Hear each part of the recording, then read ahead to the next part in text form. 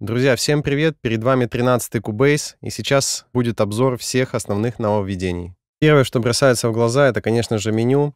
Теперь его перенесли из э, названия окна в отдельную линию, и она вызывается, кликнув правой кнопкой мыши по названию окна.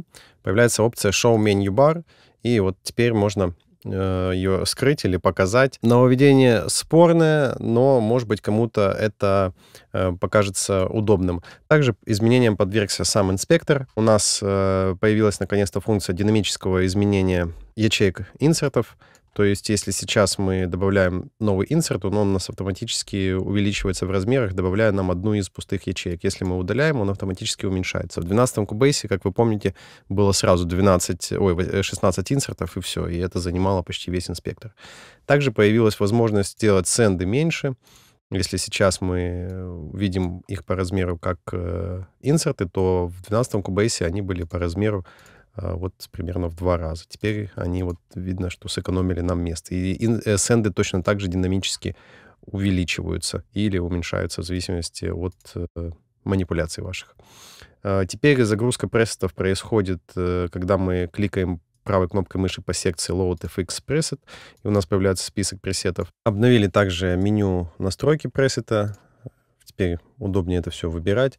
И те же самые настройки доступны нам в в нашем новом Channel инспекторе абсолютно все то же самое. Точно так же мы можем загружать э, сюда, точно так же в инсерты можем загружать пресеты и настраивать, э, что нам здесь э, нужно в отображении. Они, кстати, обновили немного Channel Strip, когда, мы, когда он отображается в ячейке микшера. Теперь доступна возможность, когда мы включаем компрессор, к примеру, есть кнопка Edit э, Channel, как, как в Edit Channel Settings, кноп, кнопочка E, и теперь мы можем сразу открыть компрессор, не заходя в наш э, Channel Editor. Точно так же с гейтом и с каждым модулем в Channel Strip. Теперь давайте поговорим про микшер. В микшере, в принципе, тоже обновился дизайн. Тоже во вкладке Channel Strip у нас есть возможность вызова компрессора непосредственно с самого канала микшера, не заходя в Channel Editor. И теперь э, важное изменение. Э, в Cubase всегда любое копирование происходит через Alt. И раньше в микшере, когда мы хотели скопировать э, инсерты с одного канала на другой, нам, перех... нам можно было просто перетянуть их. Теперь э, это не работает. Теперь они ввели логику как э, в окне основного проекта, точно так же в окне э, микшера. Если мы хотим скопировать, нам нужно зажать Alt и потом тянуть инсерты. Если мы просто перенесем без альта, то тогда инсерты просто перенесутся на новую ячейку, и все. То есть они э, сделали единую логику в работе с копированием как в окне проекта, так и в микшере. Следующим важным изменением, э, которого, которое ждали все, это, конечно же, переключение Э, на лету моно-стерео трека. Теперь, чтобы изменить конфигурацию трека с моно в стерео, стерео в моно, достаточно просто кликнуть на его конфигурацию. Находится это под фейдером возле значка аудио, э, значка аудиотрека, э, переключатель конфигурации. Точно это же можно делать и на самом канале, если у вас э, включено отображение. Если у вас включено отображение конфигурации трека, вы можете переключать его на самом канале. Теперь о MIDI-редакторах. Нам наконец-то добавили долгожданный инструмент, это Range Tool в MIDI-редакторе. Теперь мы можем использовать его как э, в, в основном окне проекта. Он работает по тому же принципу точно так же. Следующее нововведение как раз э, полезно будет тем, кто вечно переключается между K-эдитором и главным окном проекта. Это левая зона, в которой мы можем отмечать, какие синтезаторы, какие инструменты, добавленные в проект, мы хотим видеть в нашем MIDI-редакторе. К примеру, я хочу отобразить инструмент под названием VerSpot. Я отмечаю на нем галочку, и появляется его MIDI-сообщение. Также добавлена функция, чтобы ориентироваться, где мы находимся на нашем таймлайне проекта. Можно активировать э, во вкладке Track Display Settings э, галочку Show Tracks. И здесь мы видим все наши MIDI-сообщения на нашем таймлайне нашего проекта. Мы также можем активировать э, Enlarge Active Track. MIDI-сообщение активного трека будет расширяться в окне э, в верхней зоне MIDI... Ой, K-эдитора, извиняюсь. Также можно активировать и другие треки, какие-то можно деактивировать. И вот у нас есть квадрат. Квадрат означает, что э, открыто только один из MIDI-сообщений, то есть один MIDI-клип, а галочки означают, что открыты все MIDI-клипы. И теперь мы можем быстро переключаться между всеми MIDI-клипами и работать э, с MIDI, не покидая окно Key-эдитора. Теперь поговорим про обновленные Key Commons, то есть горячие клавиши. Их полностью обновили, и они стали намного удобнее, они стали намного полезнее. И сейчас я вам покажу, что же тут э, добавили. Теперь у нас есть э, четыре кнопки. Первая — это показывает все наши, все наши команды, которые мы можем назначить на горячие клавиши. А, кнопка Assign показывает у нас то, что уже назначено по умолчанию, и то, что назначили мы. То есть все кнопки, которые назначены как-то на какие-то клавиши, оно уже это, оно показывает здесь. В кнопке Customize это здесь э, собраны только те, что переназначили мы сами. То есть это не назначение по умолчанию, это конкретно то, что мы сами уже в процессе работы переназначали. И unassigned э, здесь э, собраны все, которые, все команды, которые еще не назначены. И самая главная боль, которая была в предыдущих версиях Cubase в работе с Keycommons, это нельзя было переключиться на ивенты, то есть в окно проекта, пока у нас было открыто окно Keycommons. Теперь это возможно. И, к примеру, вот у меня сейчас выбран макрос breed, и я хочу применить его... Этот макрос уменьшает у меня громкость на 6 дБ в выделенной области. К примеру, я его только что написал и хочу проверить. Я выделяю область, нажимаю Run макро, и я вижу, что он уменьшил громкость и э, поставил локаторы. Если мне мало этой уменьшенной громкости, я, естественно, могу его применить еще раз, и громкость будет уменьшаться согласно проекту. Ой, согласно количеству, э, сколько раз я применю этот макрос. Возьмем другой какой-нибудь аудио. Вот. Считаю это очень удобно, и теперь, э, когда мы будем работать э, с новыми, будем писать новые макросы или назначать новые комбинации, это очень сильно упростит э, работу с горячими клавишами, и, естественно, само написание макросов станет легче, быстрее и лучше. Поэтому однозначно лайк, забираем в работу.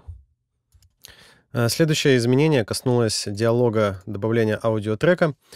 Э, теперь мы можем выставить на вход нашего аудиотрека не только наши выходы э, с групп FX-каналов, но также выходы с синтезаторов и сэмплер трека.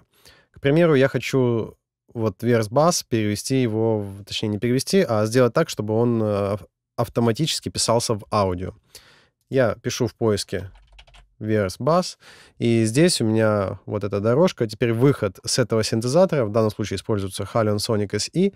А, выход с этого синтезатора я назначаю на вход этого аудиотрека. Добавляю его. И теперь, если я... Зап... Извиняюсь. Сейчас, секунду.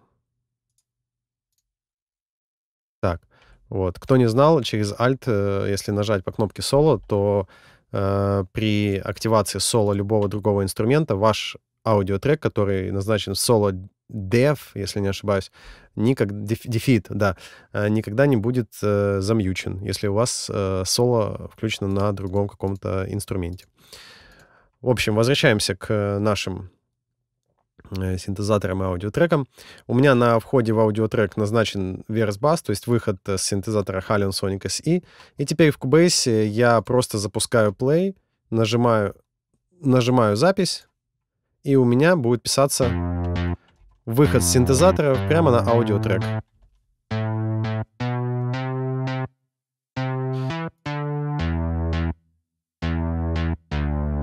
Если, к примеру, я э, хочу поиграть э, вживую,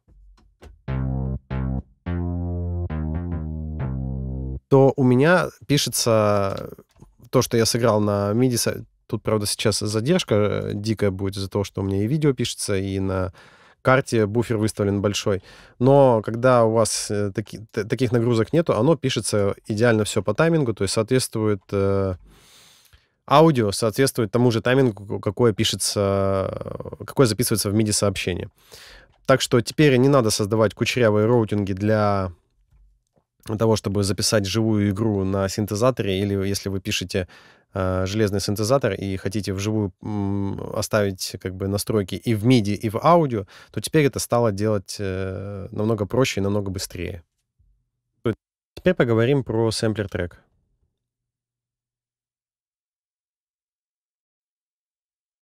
У нас в нем несколько изменений. И первое изменение — это новый алгоритм ворпинга. К примеру, мы делаем наш сэмпл медленней.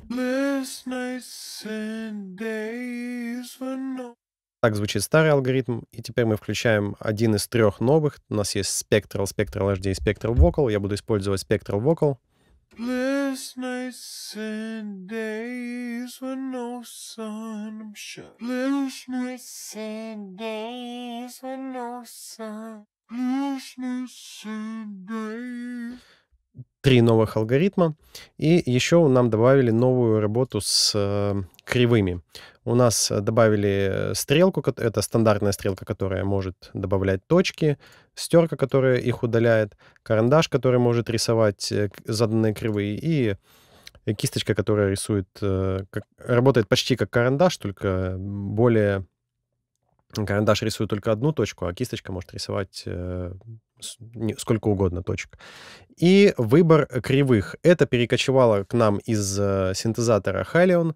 И теперь мы можем рисовать кривые согласно нашей сетке. Мы можем включить синхронизацию. И теперь э, наша сетка привязана к 1.16.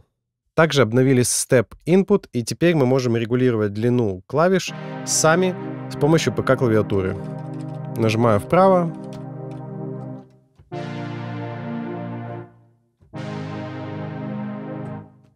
А теперь давайте посмотрим на новые плагины, которые появились в 13 версии. Первый из них — это Vocal Chain. Название говорит само за себя. И это некий комбайн, в котором собраны все штатные плагины. В нем удобно формировать вокальный вокальную дорожку для того, чтобы не надо было загружать кучу плагинов в один инсерт. Здесь собраны все нужные, и, в принципе, его уже достаточно работать с вокалом. По-быстрому накину какие-то настройки. Мы не будем погружаться сильно глубоко в этот плагин, чтобы не тратить время. А я отдельно сниму обзор на него. Сейчас мы просто пробежимся по нему как бы звук до, звук после. А, и из нововведений в нем добавлены три новых компрессора VoxComp, Extreme и Black Wolf. Также эти три новых компрессора доступны, ой, точнее, два новых компрессора доступны в виде отдельных плагинов. Это Black Wolf. Сейчас послушаем, как он звучит.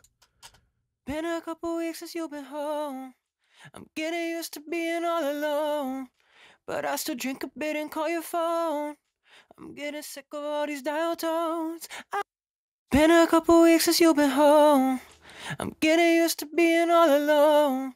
But I still drink a bit and call your phone.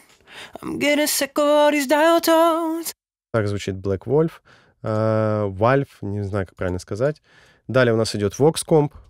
Been a couple weeks since you've been home. I'm getting used to being all alone. But I still drink a bit and call your phone.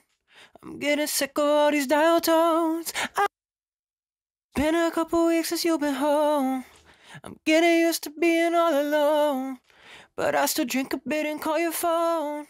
I'm getting sick of all these dial tones. Следующий плагин, который нам вернули, это вернули, подчеркиваю, он был, по-моему, в седьмой версии убран. Теперь в 13 его опять вернули. Это вокодер, старый, добрый. Ничего в нем не поменялось, кроме интерфейса.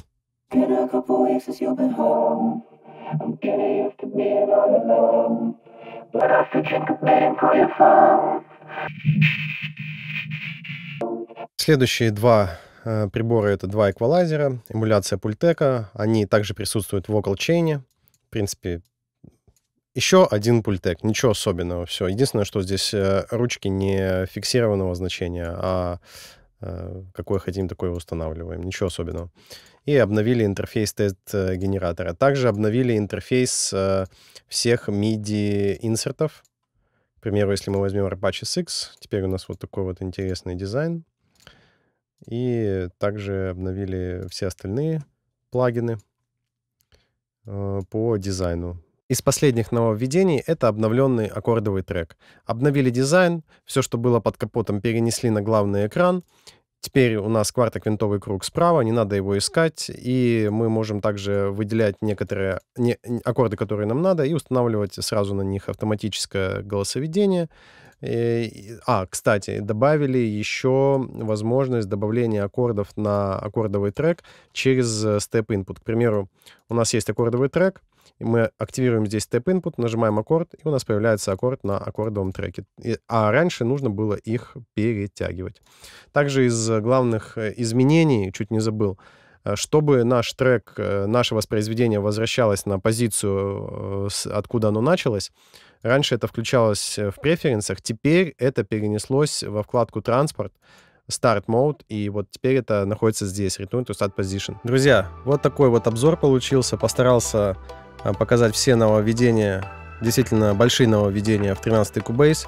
Под капотом осталось очень много мелочи. На нее тоже можно снять обзор, но он, наверное, выйдет еще длиннее, чем этот. Поэтому пишите в комментариях все ваши идеи, предложения, пожелания, куда двигаться, как все настроить. Благодарю всех, кто досмотрел. Ставьте лайк, а, подписывайтесь на канал, кто еще не подписан. В общем, всех обнял, всем мир. До встречи.